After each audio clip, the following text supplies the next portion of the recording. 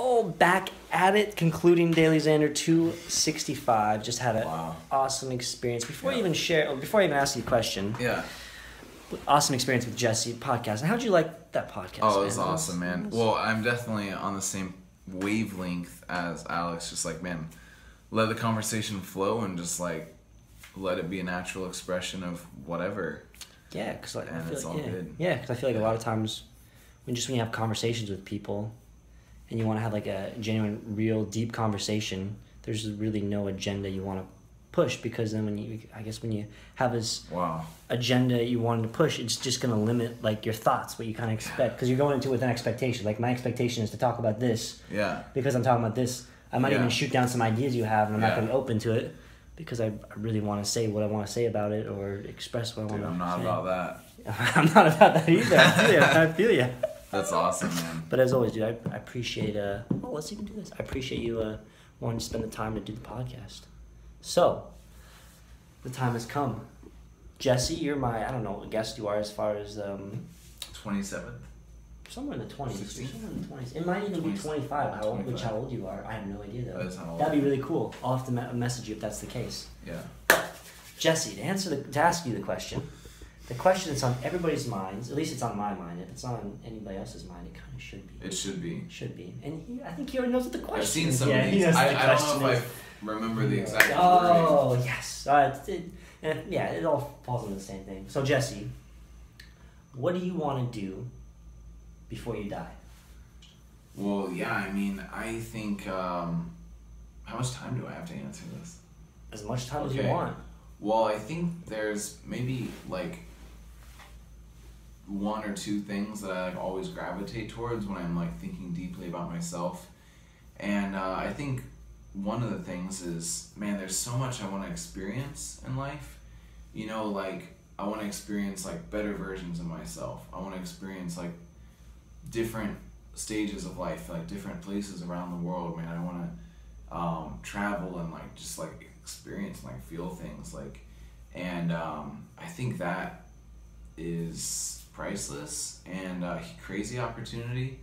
Uh, and i think the other thing man is is to like, be and probably like the main thing that uh, if you really like boiled me down and found out what i'm made of and and, and why i'm am uh, it would be to be a positive impact on in this world.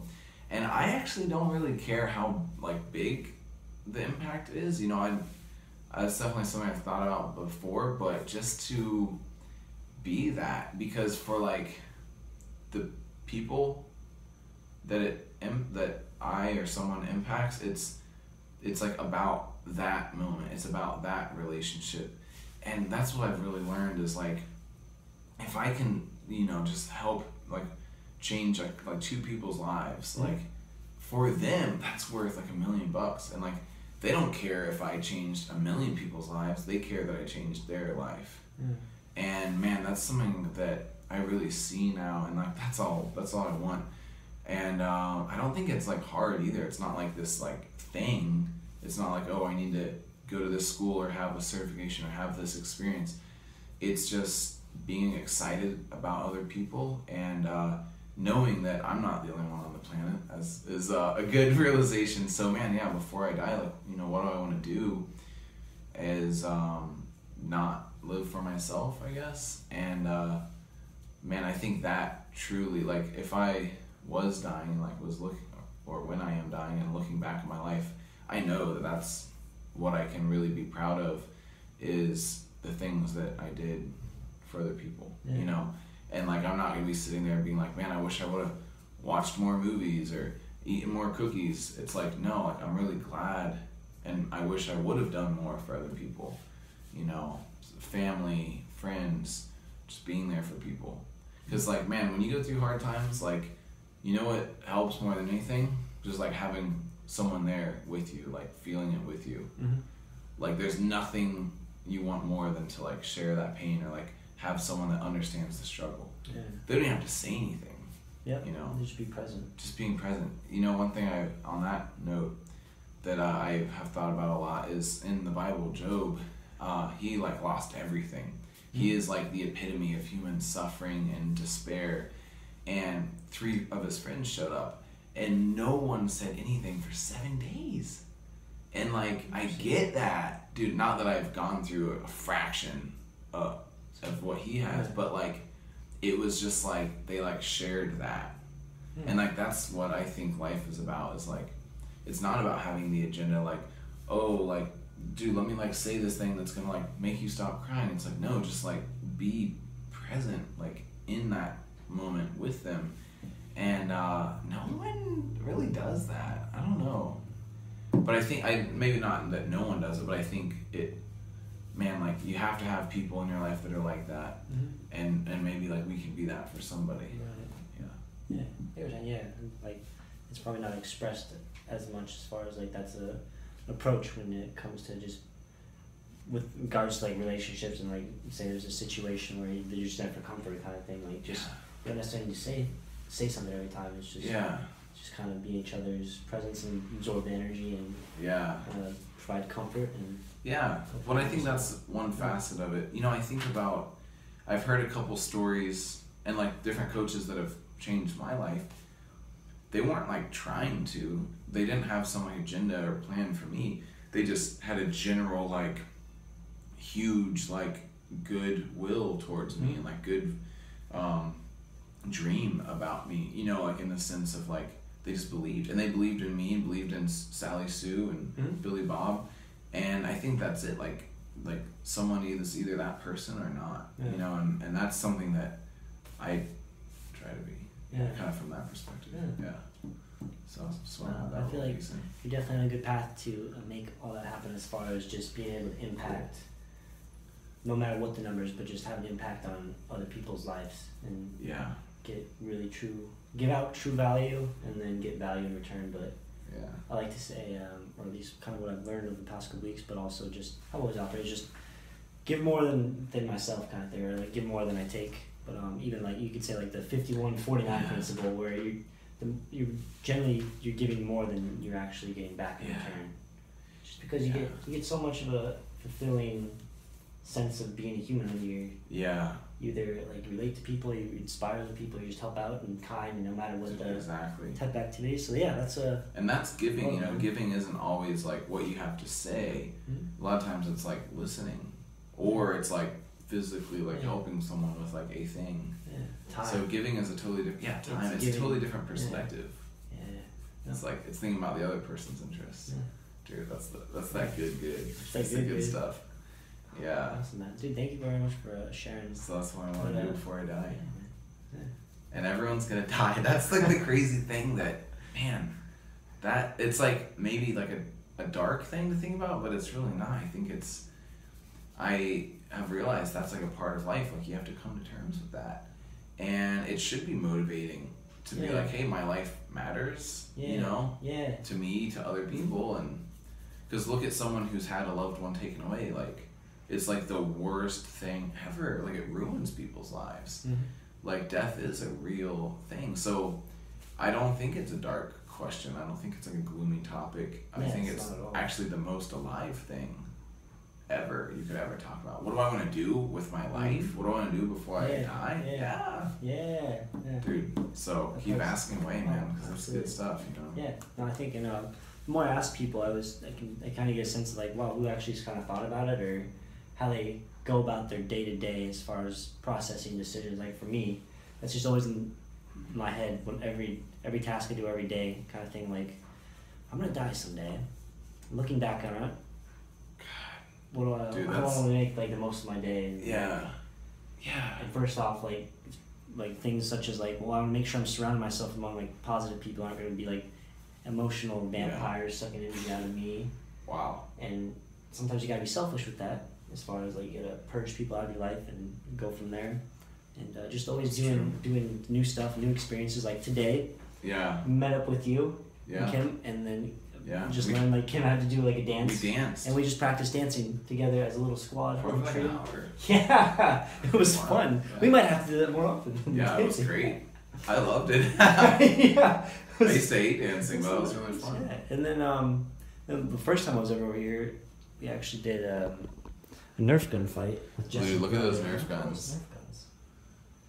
It's kind of really packing. fun, guys. If you don't have a Nerf gun, like Yeah. it's kind of great Yeah, because you can shoot them inside. exactly. I don't. I don't mean to.